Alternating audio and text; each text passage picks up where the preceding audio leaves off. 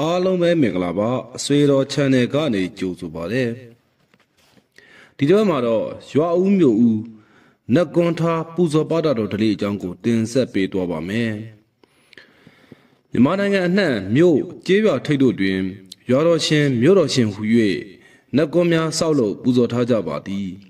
နတ်ကွန်များတွင်တစ်နှစ်တစ်ခါပူဇော်ပွဲများပတပွဲများကိုကျင်းပပြုလုပ်လေရှိကြပါသည် ထို့သောရွာထိပ်အသီးသီးမြို့ထိပ်အသီးသီးတွင်နတ်ကောများထားရှိပြီးပူဇော်ကြခြင်းသည်ဗုဒ္ဓတရားတော်အရရှေးမင်းများကအမိတ်အာဏာထုတ်ပြီးစီမံခဲ့သောကြောင့်ထိုယဉ်ကျေးမှုဓလေ့များပေါ်ပေါက်လာခြင်းဖြစ်သည်အာဇာတတမင်ဒီဝေဒာလီမင်းများကိုစစ်တိုက်နိုင်လို၍ဝတ္တတာရပုတ်သားကိုဖះရှင်တန်ဆေလို့ပြီးဝေဒာလီကိုစစ်နိုင်ကြောင်တရားများကိုရှောက်ထားစေရာဖះရှင်က အပရိဟာနိယတရားခုနှစ်ပါးခေါ်မဆုံးမယုတ်ကြောင့်တရားခုနှစ်ပါးကို ရှင်အာနန္ဒာအားဟောကြားခဲ့သည်ယင်းခုနှစ်ပါးမှာ1အညီအညွတ်စီဝဲတိုင်ပင်ကြခြင်း2အညီအညွတ်အစည်းအဝေးစီပြီးအညီအညွတ်အမှုကိစ္စတို့ကို ပြုကြခြင်း3ရှေးရှေးမင်းတို့မပြည့်ညက်ခဲ့သည်ကိုထပ်၍မပြည့်ညက်ရှေးရှေးပြည့်ညက်ပြီးသည်ကို မဖြတ်စည်းခြင်း4 အတ္တဒိဋ္ဌာကြီးသူတို့ကိုအယိုတွေပြုကုန်ခြင်းထိုသူတို့၏စကားကို နားထောင်လိုက်နာ၍ပြုလုပ်ခြင်းငါအမျိုးသမီးငယ်တို့ကို နိုင်ထက်စီနေမသိမ့်ပိုက်ခြင်းနှိပ်စက်မှုမပြုစေခြင်း6မြို့တွင်းမြို့ပစောင့်နေကြကုန်သောနတ်ကွန်ဇေဒီတို့ကိုရိုတယ်လင်းမြတ်စွာလှုပ်ကြွေးချီးမြှောက်ကြခြင်းခွန်မိမိတို့မြို့ရွာသို့မရောက်လာသေးသောတီလပညာရှိပုဂ္ဂိုလ်များ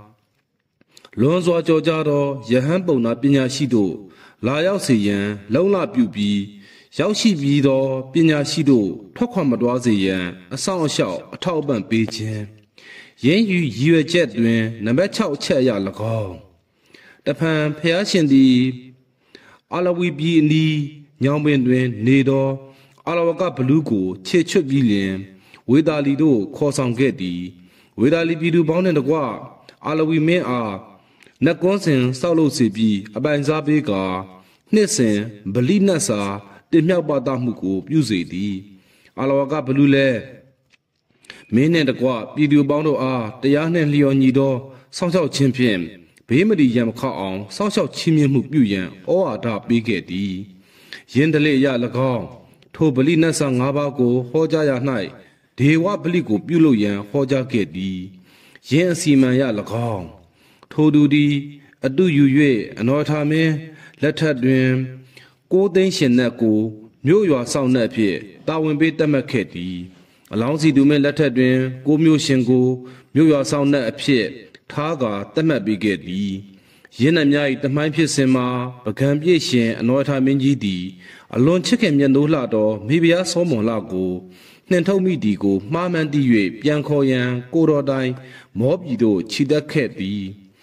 မောပြည်တို့ရောက်သောစော်ဝါကြီးမှာကံကုန်တော်ပြီဖြစ်သည်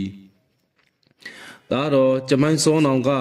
စော်ဘွားဖြစ်အုပ်ချုပ်နေသည်ကို တွေ့ရသည်နော်ထာမင်းကြီးကစောနောင်ကိုစောမွန်လှနှင့်ပတ်သက်၍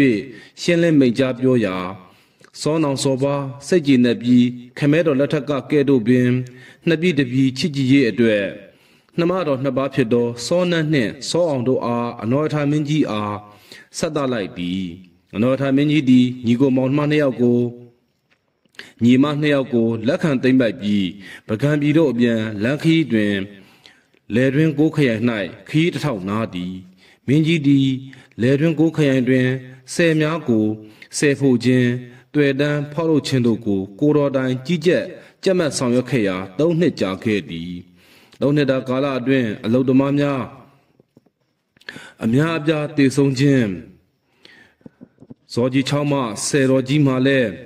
အောင်မြင်မှုမရှိဘဲခဏခဏကြိုးပြက်ဖန်များခြင်းကြောင့်ပုံနှဖြူပုံညိုတို့တို့အားတွက်ချက်စေသည်အောင်ပါတော့တနင်္ဂနွေတမိကိုစတိမှဆယ်တော်ကြီးအောင်မြင်ပြီဟုပုံသားတို့ကလျှောက်ထားရာမင်းကြီးကကိုးခရိုင်အတွင်းအောင်ပါတော့တနင်္ဂနွေတမိကိုရှာဖွေ၍စတိစေဟုအမိန့်ချမှတ်ခဲ့သည်အောင်ပါတော့တနင်္ဂနွေတမိကိုရှာမတွေ့၍အခက်တွေ့နေစဉ်ဇ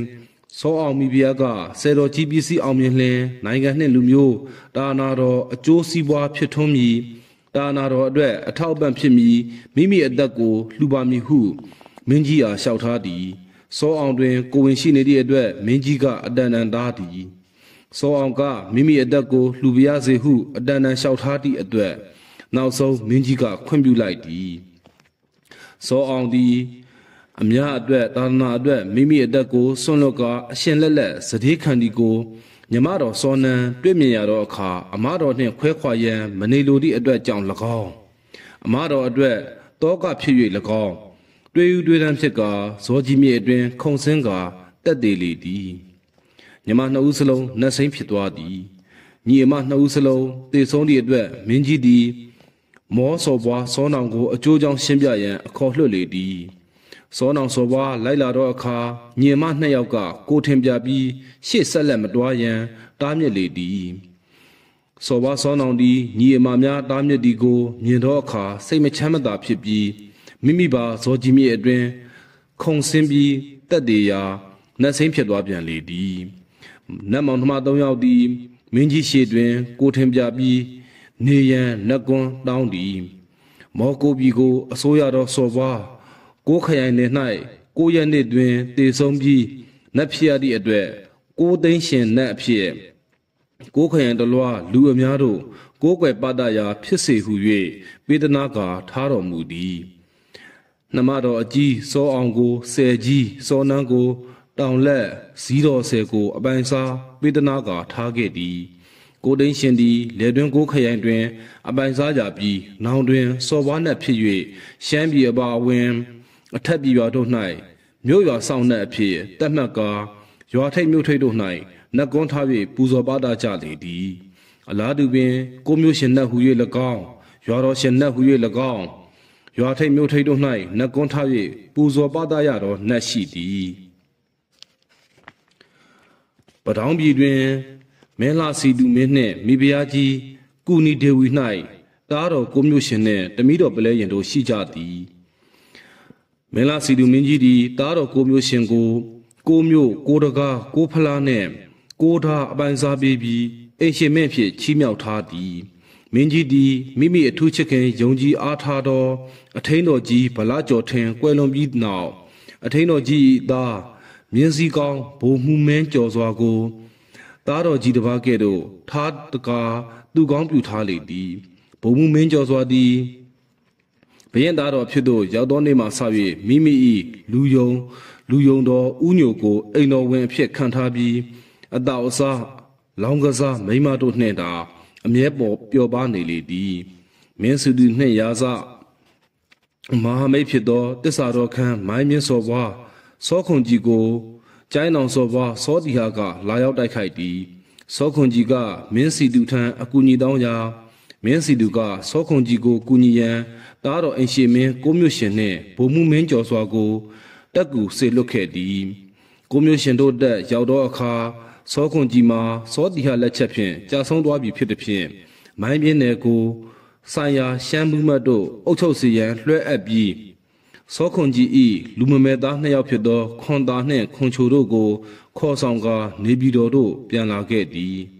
နေပြည်တော်သို့ရောက်သောမင်းကြီးအားအကျိုးအကြောင်းလျှောက်ထားပြီးခွန်ချိုနှင့်ခွန်သားကိုဆက်တသည်မင်းကြီးသည်ခွန်ချိုနှင့်ခွန်သားတို့ခွန်သားတို့ကိုကိုမျိုးရှင်နှင့်ပလဲရင်တို့အားတယောက်စီမွေးစားရန်ပေးသနာလေသည်ဘုံမှုမင်းကျော်စွာသည်တောက်စားမူးရနေသူဖြစ်၍ကလေးများပျက်စီးသွားမှာစိုးရင်တို့ကြောင့်မင်းကြီးကကလေးတယောက်ကိုမင်းကျော်စွာအားမပေးဘဲပလဲရင်ကိုသာပေးခဲ့သည် ဘုံမှုမင်းကျော်စွာကိုမူပခန်းမြို့ကိုသာအပန်းစားပေး၍ချီးမြှောက်လေသည်ထိုချိန်မှစ၍ပခန်းဦးမင်းကျော်ဟု၍ထင်ရှားလာခဲ့သည်ဘုံမှုမင်းကျော်စွာသည်ခွန်ချိုခွန်သာမွေးစားခွင့်နှင့်ပတ်သက်၍မိမိမရသောကြောင့်ရှက်စိတ်နာဖြစ်ကာမင်းကြီးပေါ်ရန်ညိုးထားလေသည်အခွင့်သာသောနေ့တွင်ထီနန်းကိုလှုပ်ကြံပြီးပလဲရင်ကိုမိဖုရားမြောက်ရန်အထိအကြံစီထားလေသည်တဖြည်းဖြည်းနှင့်ခွန်ချိုခွန်တာတို့အရွယ်ရောက်လာကြသည် ဘုံမှုမင်းကျော်သည်မိမိအကြံစီနှောင့်နှေးပြီကိုမြင်သည်ဖြင့်ဘတ်တော်သားများနှင့်တိုင်ပင်ကာရှမ်းပြည်၌တပုံထနေကြောင်းခွန်ချိုခွန်တာတို့ကိုတွားရောက်နှိမ်နှင်းတင့်စေကြောင်းနိုင်ပြီးပါကခွန်ချိုခွန်သာတို့ကိုရှမ်းပြည်၌၃နှစ်အုပ်ချုပ်စေတင်ကြောင်းအကြံပြုသည်မင်းကြီးလည်းတတဘောရိုးထင်က ယုံကြည်ပြီးလင်ခွန်ချိုခွန်သာတို့ကိုရှမ်းပြည်၌ထကြွသောတပုံတို့ကိုနှိမ်နှင်းစေသည်ခွန်ချိုခွန်သာတို့သည်တက်တော်နှင့်အတူရှမ်းပြည်သို့ခြိတက်သည်အမှန်မှာရှမ်းပြည်တွင်တပုံမရှိချေအေဂျင့်တာယာနေဒီကိုတွေ့ရသည်သို့တော်သုံးနှစ်အုပ်ချုပ်၍နေရမည်ဟုသောမင်းအမိန့်ကြောင့်နေပြည်တော်တို့မပြန်ဘဲရှမ်းပြည်၌အုပ်ချုပ်နေကြရသည်ခွန်ချိုခွန်သာတို့ထွက်ခွာပြီးမကြာခင်တွင် ညစ်တညစ်မှာဦးမင်းကျော်နှင့်ဗတ်တော်သားများသည်နန်းတော်တို့ဝင်စီပြီးဘရင်နှင့်မိဖုရားကိုလှုပ်ကြံတက်ဖြတ်ကာထီးနှန်းကိုတိမ့်မိုက်ကြသည်ထိုအခါအိမ်ရှိဆန်ကိုမျိုးရှင်သည်နှမတော်ပလဲရင်ကိုထမ်းပြီးထွက်ပြေးခဲ့ရသည်ခမဲတော်မင်းကြီးဤအတီအကျွမ်းဖြစ်သောကြောက်ကြောက်ထက်ရွာတထေးကြီးဥဒါမြတ်အိမ်တွင် မထင်မရှားဆင်းရဲသားအတွင်ဖြင့်နေထိုင်ကြသည်တနေ့တွင် ကိုမျိုးရှင်ကိုတော်ကြီးသည်ပလဲရင်ကိုတထေးကြီးထံအပ်ကာ တိုင်းရေးပြည်ကိုစနဲနာရန်ခွန်ချိုခွန်တော်တို့နှင့်ဆက်တွယ်မှုရရန်စ조사ရန်ရှမ်းလူမျိုးကဲ့သို့ရုပ်ဖြတ်ကာထွက်ခွာသွားခဲ့သည်ကိုမျိုးရှင်ထွက်ခွာသွားသောအခါတထေးသားမောင်မောင်လက်နှင့်ပလဲရင်တို့သည်မြတ်တာမျှကြပြီးလက်ထက်ခဲ့ကြသည်မကြခင်တမီလေးတယောက်မွေးဖွားရာအဖိုးဖွားများကပါအသေးဆွဲချစ်ခင်၍တဲတဲကလေးဟုအမိပေးထားခဲ့ကြသည်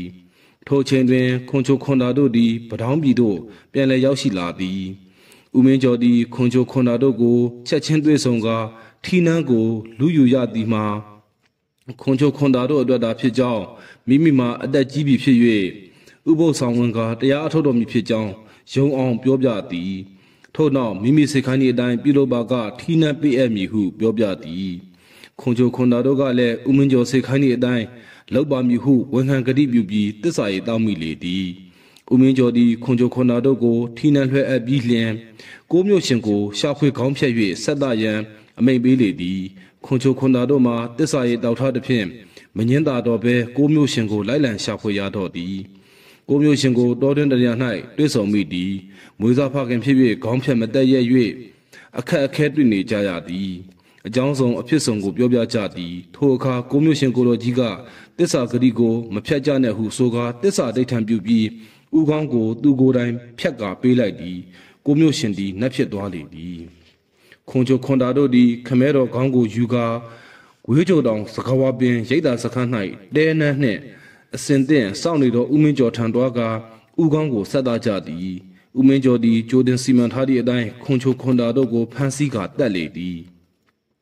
ခွန်ချိုခွန်တာတို့သည်တေပြီးနောက်နှက်ဖြစ်ကာ ဥမင်းကျော်ကိုဂလဲစားခြေတော်အဖျင်စကားဝပင်ကိုလှဲချလိုက်ရာဥမင်းကျော်ရောအိမ်တော်အိမ်တော်ဝင်ဥညိုပါတေဆုံးပြီးနှက်ဖြစ်ကြလေသည်ကိုမျိုးရှင်သည်နတ်ဘဝနှင့်ပလဲရင်ကို လာရောက်ကြည့်ရှုရာ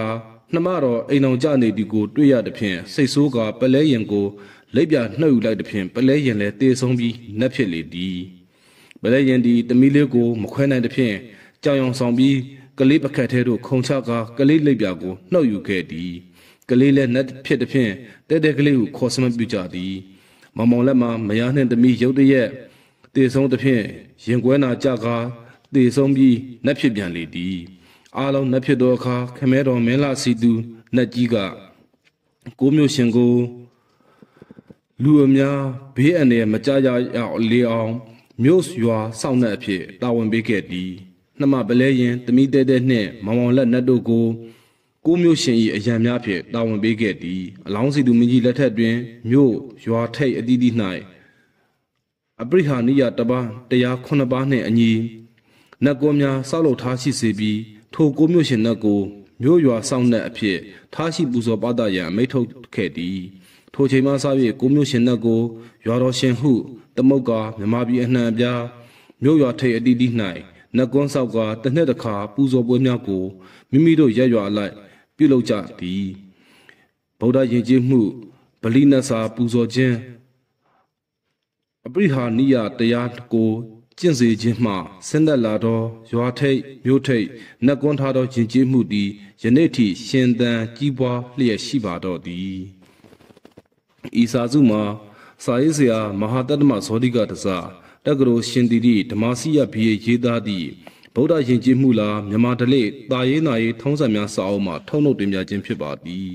အဆုံးထိနားဆင်ပြီးသူတူရန်ကိုအထူးပင်ကျေးဇူးတင်ရှိပါသည်